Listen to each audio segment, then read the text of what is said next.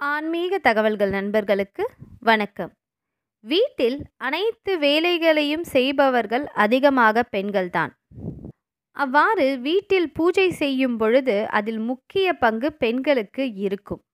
அப்படி இருக்க தீபாவளி பொங்கல் அமாவாசை கிருத்திகை போன்ற விசேஷ நாட்களில் பூஜைகளில் கலந்து கொள்ள முடியாத அளவிற்கு அல்லது வீட்டில் பூஜை செய்ய முடியாத அளவிற்கு மாதவிடாய் வந்துவிடுகிறது என்றால் பெண்கள் மிகவும் மன உளைச்சலுக்கு ஆளாகி விடுவார்கள்.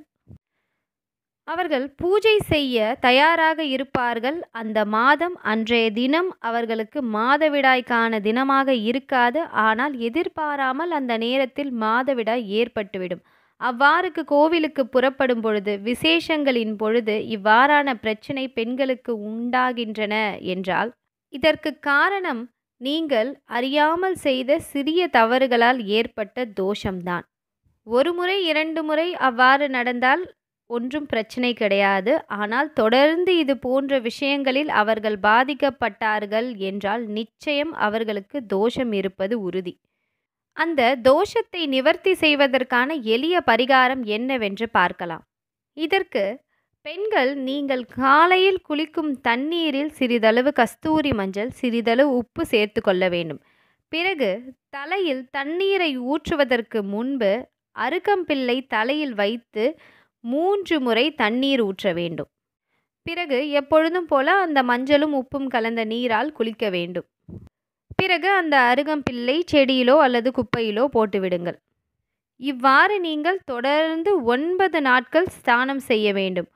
இது எதற்காகவென்றால் ஒன்பது கிரகங்களில் எந்த கிரகத்தின் மூலம் உங்களுக்கு எந்த தோஷம் ஏற்பட்டிருந்தாலும் அது நிவர்த்தி ஆக வேண்டும் என்பதற்காகத்தான் ஒன்பது நாட்கள் இதனை நீங்கள் செய்ய வேண்டும். இந்த ஒன்பது நாட்களுக்குமான அருகம்பில்லை நீங்கள் வாங்கி உங்கள் வீட்டு ஃப்ரிட்ஜில் வச்சுக்கலாம். தவறேதும் கிடையாது. ஏன்னா தினமும் நமக்கு புதியதான அருகம்பில் கிடைப்பது கிடையாது. ஆகையால் இப்படி வாங்கி நீங்கள் சேமிச்சுக்கலாம். தவறு கிடையாது.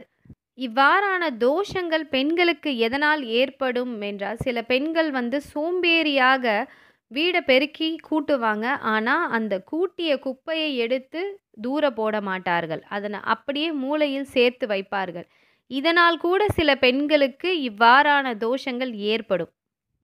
இது ஒரு சிறு விஷயம்தான் ஆனால் இதனால் கூட உங்களுக்கு தோஷங்கள் ஏற்படுவதற்கான வாய்ப்பு உள்ளது. ஆகையால் இதனையெல்லாம் தவிர்ப்பது நல்லது.